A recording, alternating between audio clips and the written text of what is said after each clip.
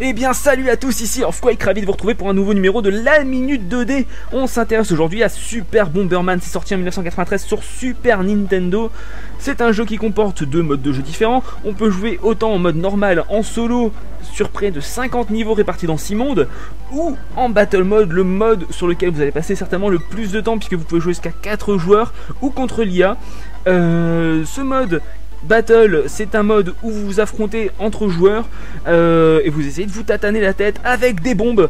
Alors sachant que vous pouvez ramasser une quantité de power-up assez impressionnante, euh, passant du nombre de bombes augmenté jusqu'à des bombes plus puissantes, euh, et tout ça passant également par des personnages plus rapides, jeter ou pousser les bombes pour pouvoir faire encore plus de subtilité dans le gameplay.